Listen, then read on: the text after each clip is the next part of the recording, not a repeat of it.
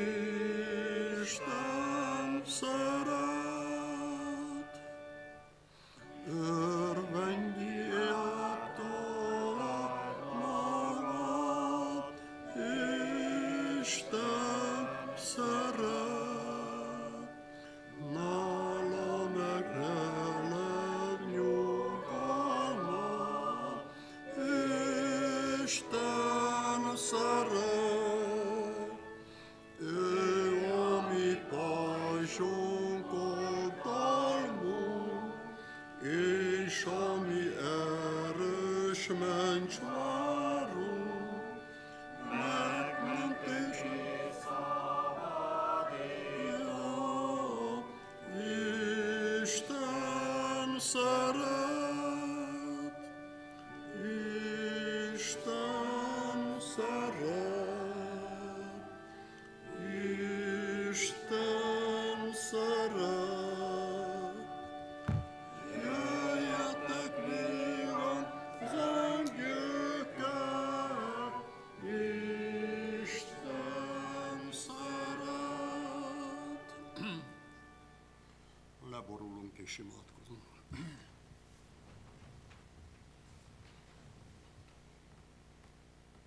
Édesatyánk, különös hálával tartozunk te néked, hogy megajándékoztál bennünket egy újabb szombattal. Jó Istenünk, visszatekintünk, egész héten hordoztál hatalmas karjaidon. Fogad hálánkat, fogad köszönetünket, jó Istenünk, hogy még adtál kegyelem időt részünkre, hogy eljöhetünk hajlékodban, ahol Te veled találkozunk, és ahol Téged akarunk dicsőíteni és magasztalni. Köszönjük, jó Atyánk, hogy megígérted, hogy elküldött drága szent lelkedet. Kérünk, áldott szent lélek Istenünk, jöjj, költözék ma mi szívünkben, a mi életünkben, és te formáljad bennünket a te képmásodra, hogy hasonló váljunk te hozzád. Jó atyánk, áld meg itt megjelent népedet, gyermekeidet. Adjad, hogy érezzük már ez este órában is szombatnapi áldásodat, amelyet te megáldottál és megszenteltél. Segíts, hogy ebben az áldásban részesülünk az esteri órában is. Kérünk, jó atyánk, áld meg az ígét, áld meg ígének szólóit, adjad, hogy a te ígéd a mi elménkben, a szívünkben megmaradjon, és ezáltal megteremjük az örök életre való gyümölcsöt. Megemlékezünk beteg testvéreinkről, drága megváltunk. Kérjük, éreztes velük is szombatnapi áldásodat, és ha megegyezik kérésünk akaratodból, segítsed meg őket is, hogy eljöhessenek szent házadban, hogy együttesen téged tudjuk dicsőíteni és magasztalni. Köszönjük. Ezért áldunk és magasztalunk tégedet most és mindörökké. Amen.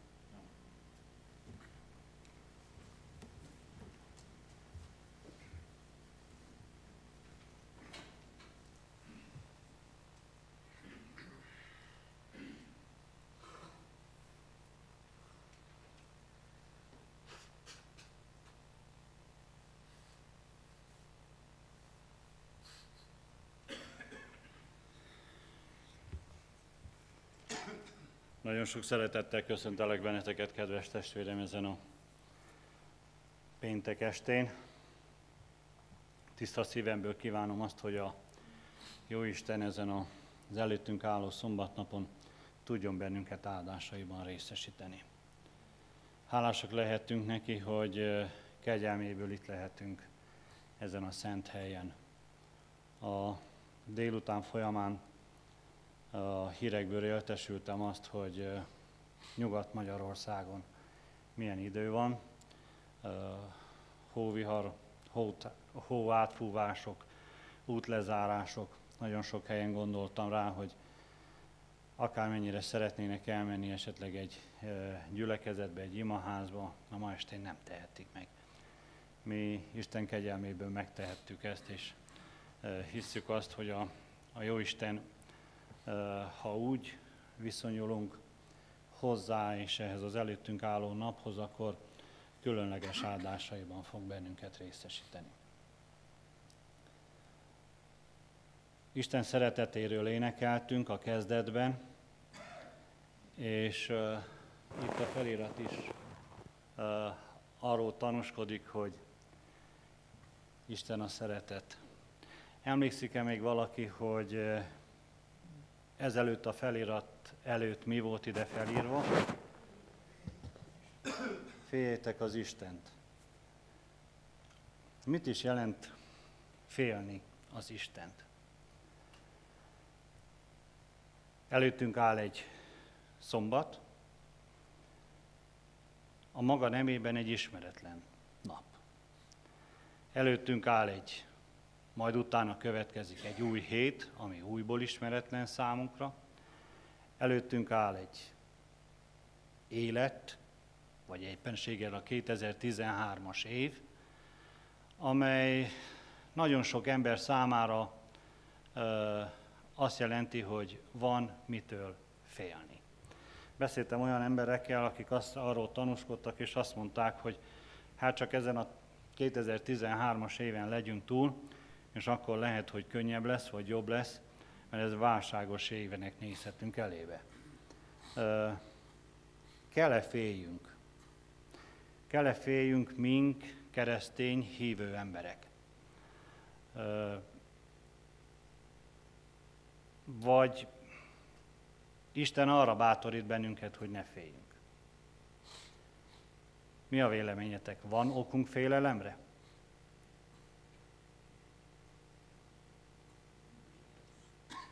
Egyesek azt mondják, hogy nincsen, mint hogyha hallottam volna egy olyat is, hogy igen. Tehát megoszlanak a vélemények, van okunk félelemre is, és ugyanakkor azt, mondjuk, azt is mondjuk, hogy nincs mitől féljünk. Szeretném, hogyha néhány igeversbe beletekintenénk a félelemmel kapcsolatosan, hisz tudjuk azt, hogy maga a félelem az a bűnnek a következménye. És ahogy az ember bűnbe esett, rögtön megjelent ugye ez az érzés, a, a félelemnek az érzése. Ha a Mózes első könyvében a harmadik fejezetnél megnyitsuk Istenek igéjét, akkor látjuk azt, hogy miután az ember vétkezett, a Jóisten megkereste az embert, és Ádám eképpen válaszolt el. Harmadik fejezet, és ott a tizedik versét olvasom. Szavadat hallám a kertben, és megfélemlém, mivel hogy mezitelen vagyok, és elrejtőzém. Volt oka e, Ádámnak félnie Istentől. Nagyon érdekes ez, a, ez az érzés, és az is érdekes ugyanakkor, hogy az a kijelentés, hogy féljétek az Istent, az mint hogyha a magyar nyelven más sugalna. Ugyanazt jelenti számotokra félni az Istent, mint félni az Istentől? Ugye lehet, hogy nekünk magyaroknak lehet, hogy könnyebb megértenünk ezt, de például többek között a román nyelv is egyféleképpen fordítja ezt a két kifejezést. És az a két kifejezés az, hogy féljél Istentől. Temeți-vă de Dumnezeu. És a Bibliában igazából nem találjuk meg, mondom többek között román nyelven is, vagy román nyelven se, ezt a kifejezést, hogy félni az Isten. Mindazonáltal találtatok olyan Biblia verset a Bibliába, hogy féljetek Istentől? A magyar Bibliáról beszélek, mert akkor a román, a román az egyértelmű, ugye, hogy, hogy félni Istentől. Néhányat fel szeretnék olvasni ebből. Mózes harmadik könyvében,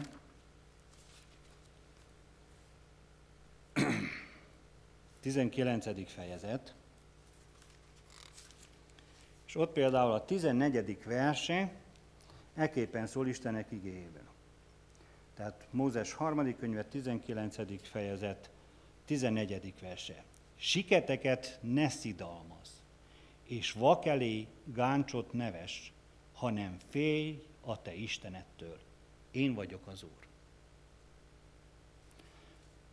A 32. vers az ősz ember előtt kelj fel, és a vén ember orcáját becsüld meg, és félj a te Istenettől.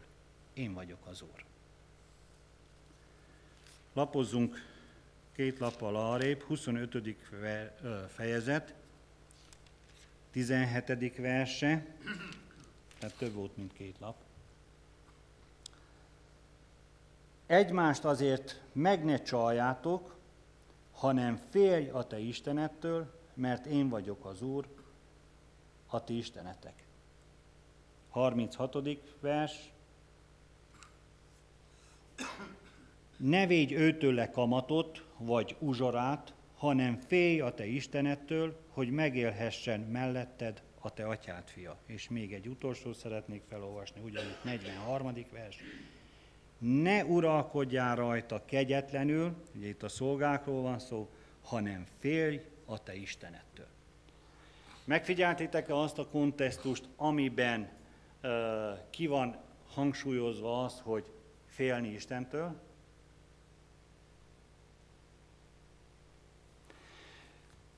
figyeljétek meg, hogy mindegyik az ember társainkkal való viszonyra utal. Féljél a te Istenettől, ha visszaélsz azzal az emberi méltósággal, amelyel Isten téged, mint embert felruházott. Ha ezzel te visszaélsz, akkor van mitől féljél a te Istenettől. Az Istentől való félelem, mely kapcsolatosan általában mitől félünk, mikor azt mondjuk, hogy félünk az Istentől. Miért félt Ádám? Mitől félt?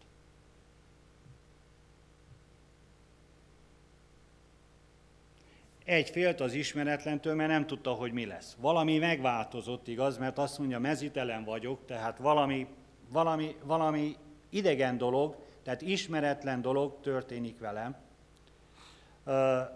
Félt a jövőtől, hogy ezután mi fog következni, és ugyanakkor félt a büntetéstől. Hogy vajon most Isten hogyan fog hozzá viszonyulni. Igaz? Nézzünk meg még egy példát a Bibliából, az Istentől való félelemmel kapcsolatosan, és nyissuk meg, vagyis folyamatosan lapozzunk Dániel könyvéhez, és minnyáján nagyon jól ismeritek ezt a példát. Dániel könyve 5. fejezeténél van leírva, Belsazár királynak a története. Ugye egy lakomát szerez, és nagyon sokakat meghív erre a lakomára.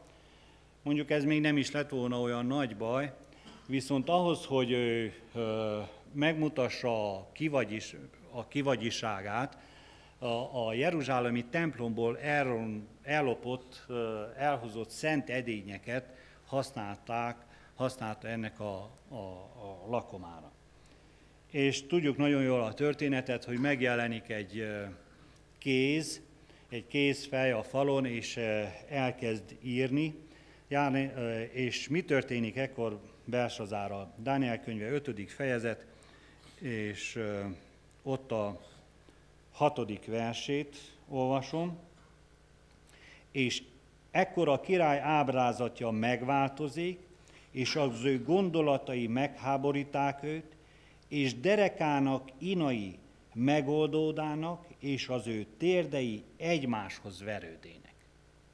És majd a kilencedik verset is olvasom. Akkor Belsazár király igen megrettene, és az ő ábrázatja elváltozik rajta, és az ő fő emberei is megzavarodának. Magam elé képzelem ezt az esetet, ezt a királyt. Annyira uh, irodalmian van leírva, hogy uh, egy, egy igazánból megrettent ember képét ö, írja le itten a Szentírás. Voltok a félni Belsazának? Ő nagyon jól tudta, hogy azok az edények, szent edények, hogyan tartják a zsidók azt, és hogy mennyire félt Isten büntetésétől, reális volt, hisz tudjuk a leírásból, hogy a más napot nem élte meg, ugye, hanem még az nap, az este, azon az éjszakán megölték őt a kádéusok. Még egy Istentől való félelemmel kapcsolatosan egy esetet szeretnék felolvasni, ami a, nem a múltban, hanem a jövőben fog történni. Ez is egy drámai leírás a jelenések könyvéből, hatodik fejezetből olvasom, és onnan a 15. versétől. Ugye ez előre vetíti azt a képet, amikor az Úr Jézus meg fog jelenni, mint ítélő, mint népek ítélője, és hogyan fognak a hitetlenek félni ez alkalommal. És a földnek királya és a fejedelmek és a gazdagok, és a vezérek és a hatalmasok, és minden szolga, és minden szabad, elrejték magukat a barlangokba és a hegyeknek kőszikláiba, és mondának a hegyeknek és a kőszikláknak, esetek mireánk, és rejtsetek el minket annak színe elől, aki a királyi székben ül, és a bárány haragjától, mert eljött az ő haragjának a ma nagy napja, és kiállhat meg. Tehát az emberi félelmet, ahogy mondottam, nem csak a jövőtől, az ismeretlentől való félelem, hanem a, a, főleg a keresztények részéről az isteni büntetéstől való ö, félelem is, is ö, nyomasztja.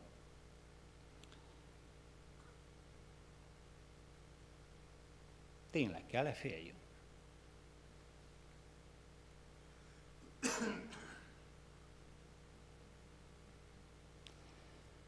Most ezzel kapcsolatosan hadd olvassak egy olyan embernek a történetét, aki, aki félte az Istent. Józsefről van szó. Józsefről van szó a Mózes első könyve 42. fejezetében. Ő maga állítja ezt önmagáról, hogy Istenfélő ember,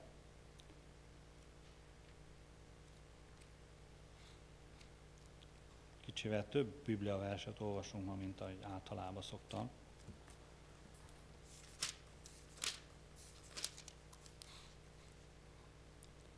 39. 42. fejezet 18. verse.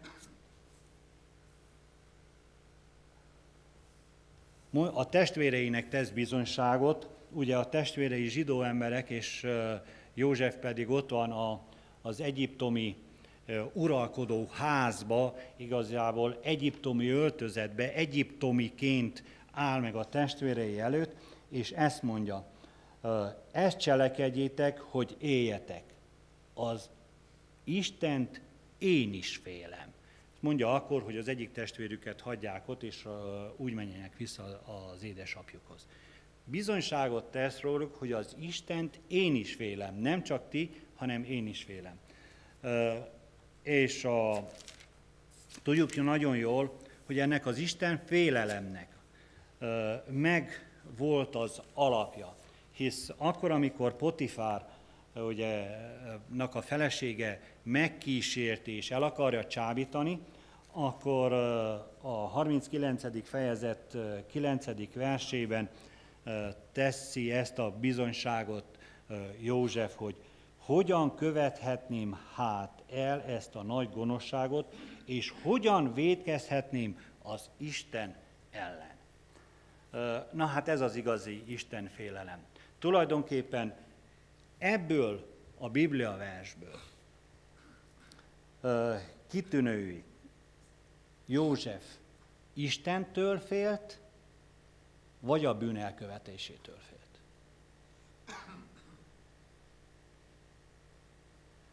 Azt mondja, hogyan követhetném el? Attól félt, hogy nehogy elkövesse ezt a bűnt. Ez az igazi Isten félelem. Mikor a bűnnek elkövetésétől félek, nehogy valamiképpen megszomorítsam az én szerető atyámat, az én megváltó Jézus Krisztusomat. Ez az igazi Isten félelem. Persze ezeknek az embereknek ugye mondja jogosan a Biblia, hogy ne féljetek. Ne féljetek az ismeretlentől, ne féljetek a jövőtől, mert én veletek vagyok. Úgy ezt mondja az Úr Jézus Mózesnek, ezt mondja a Jóisten Józsuénak, ugye, ne félj és ne retteg, ezt mondja Illésnek, mikor kétségbe van esve, a mai szóval használva depresszióba esik, és azt hiszi, hogy csak egyedül van, és azt mondja neki az Úr, hogy még van rajtad kívül 7000 ember, nincs mitől félned, ugye? Mert én veled vagyok. Ugyanezt mondja az Úr Jézus az embereknek, és mikor párhuzamba állítja, hogy ha a, a, a madarakról szól, ahogy a tanulmányban olvastuk a hét folyamán, hogy ha a madarakról a Jóisten gondot visel, hát akkor te ember, van-e mitől féljél? Ugye? És ilyen értelemben ténylegesen nincsen mitől féljünk. Itt egy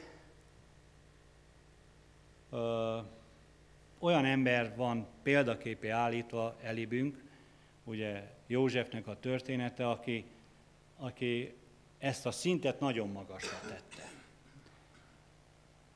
És nem védkezett a Jóisten ellen. De mi van akkor, hogyha elbukok, és védkezek?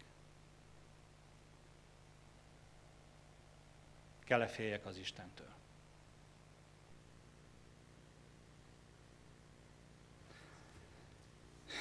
Van egy, van egy nagyon szép történet a Bibliában, Sámuel könyve, második fejezeténél van leírva, vagy második uh, könyvében van leírva, a 21. fejezetben uh, Dávid egy bűnt követel, és pedig egy olyan bűnt, amit a Jóisten egyszerűen nem hagyhat büntetés nélkül. Egy népszámlálást tart. Megszámolja a népet, pedig a proféta intésére nem kellett volna megtegye ezt. És a 13. verstől olvasom, elmegy a proféta Dávidhoz. És azt mondja, elméne azért Gád Dávidhoz, és tudtára adá néki, és mondanéki. Akarod-é, hogy hét esztendeig való éjség szálljon a földre? Vagy hogy három napig ellenségeid előtt bújdossál, és ellenséged kergessen téged? Vagy hogy három napig döghalál legyen országodban? Most gondold meg, és lásd meg, micsoda választ vigyek annak, aki engem elküldött. És mondd a Dávid Gádnak, felette igen szorongattatom. De mégis, hadd essünk inkább az Úr kezébe, mert nagy az ő irgalmassága, és ne essem ember kezébe. Kedves testvérem, lehet, hogy védkezel. A bűnöd lehet a szemedben parányi, lehet óriási. És azt mondod, jogosan érdemlem meg Isten büntetését. Mit mond Dávid? Hát hova mehetnék? Fordítsak hátat Istennek? Menjek sátánhoz, aki pontosan ebbe a bűnbe taszított engem? Nem megoldás. Emberek tudnak adni megoldást? Nem tudnak adni. Azt mondja, hadd esem Isten kezébe, mert nagy az ő irgalmassága. És a jó Isten az ő belátása szerint, és az ő irgalmassága és, és kegyelme szerint az, azon az úton fog vezetni engemet, hogy eljussak az ő országába. Bukdácsolva, olykor még, még tévedve, vagy éppenséggel védkezve, megbocsájtva nekem, az igazság ösvényén támogatva, különböző ö, akár büntetések által is testvére, mert itt Dávid nem úszza meg a büntetést, tudjuk nagyon jól, ugye, hanem döghalál jön a népre. És ezzel kapcsolatosan, hogy mennyire, mennyire, mondjam így, nincs mitől félnünk Istentől. Még egy utolsó Biblia verset hadd olvassak el.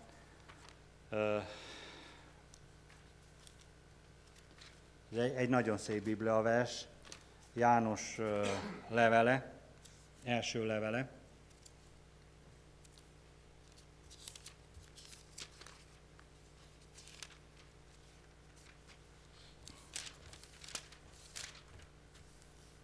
Második fejezet, és ott az első verse. Én, fiacskáim, ezeket azért írom néktek, hogy ne védkezetek. És ha valaki védkezik, van szószólónk az atyánál, az igaz Jézus Krisztus. Mennyire csodálatos az, hogy bármilyen félelmek vesznek birtokába bennünket. A holnaptól való félelem, mint ahogy mondtam, vagy a holnap utántól, vagy az évtől, az előttünk álló évtől, az egész előttünk álló életünktől, hogy melyik utat válasszuk. Itt gondolok párválasztástól kezdve munkahely, szakma, stb. Egy, egy félelemmel teli az embernek az élete. Egyszerűen nincs mitől féljünk. Nincs mitől féljünk, mert van egy szerető Istenünk, és van egy közben járó főpapunk, a, aki megenyhül, ha mi bűnbánattal ő hozzájövünk. A Jóisten, ahogy mondtam, erre a napra is csodálatos áldásaiban szeretne bennünket részesíteni. A kérdése az, hogy elfogadjuk ezzel ő áldását. És az előttünk álló évre is. Áldásai ki vannak, mondjam úgy, hogy porciózva. Időszakról időszakra. El van készítve számunkra. Bizonyos áldások. Tőlem függ az, kedves testvérem, hogy ezekben az áldásokban részesülök-e, vagy se.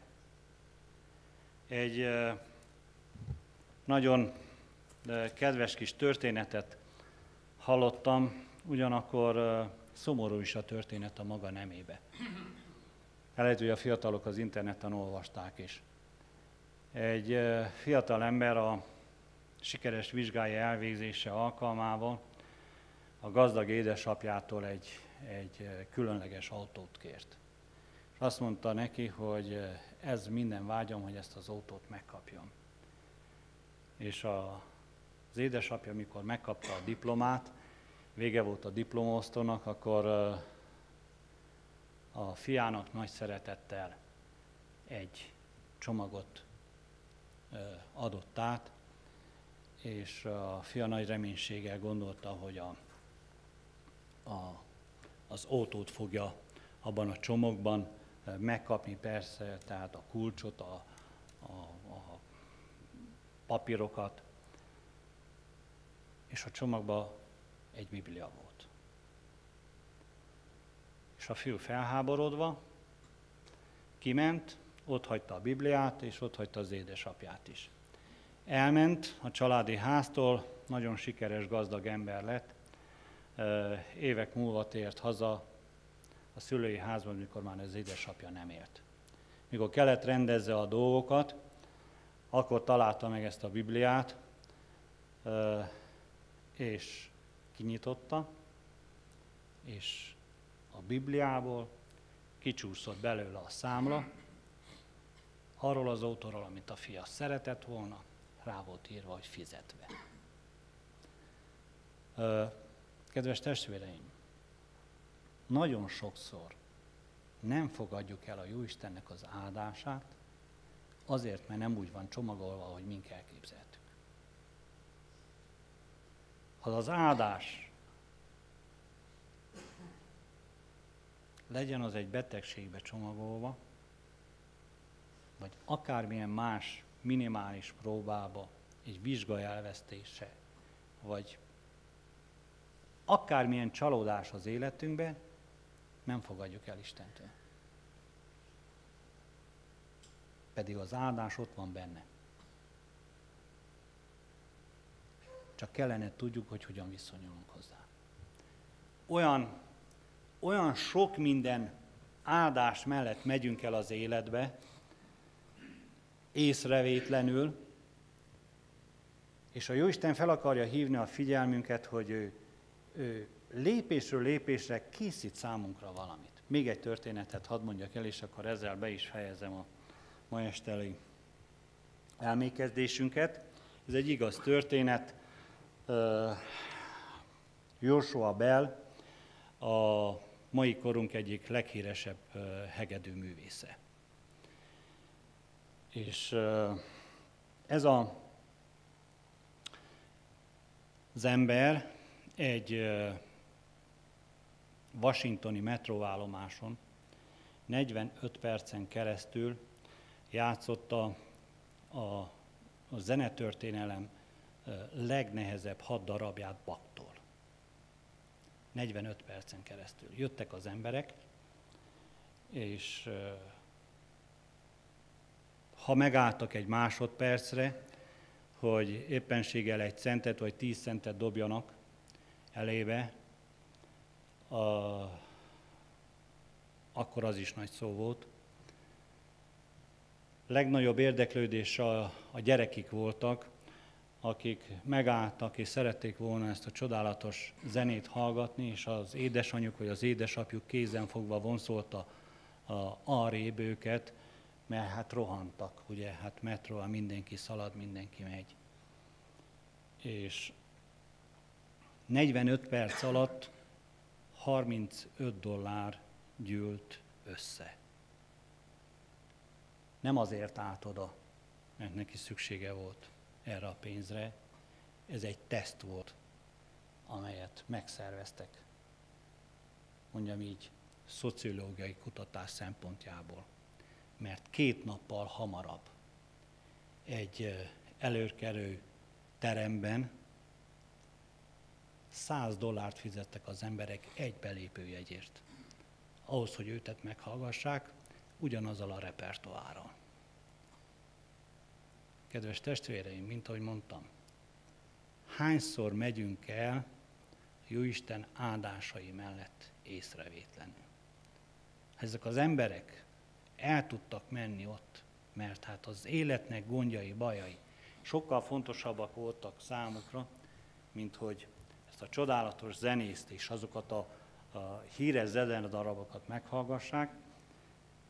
Mi is, mi minden, mi minden áldás mellett megyünk el nap, mint nap. Segítsen meg a Jóisten bennünket, hogy az előttünk álló szombaton legyen nyitott a szemünk, nyitott a fülünk és nyitott a szívünk a Jóisten áldásainak a befogadására.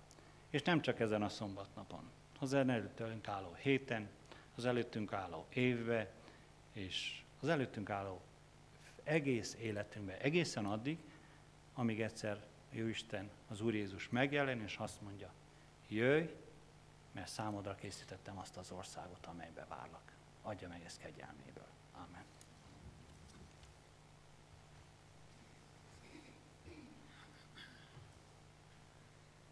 Kedves testvérek, áldásos Isten tiszteletünket befejezzük, és énekeljük a 374-es számú énekünket, csak te légy velem, megváltom.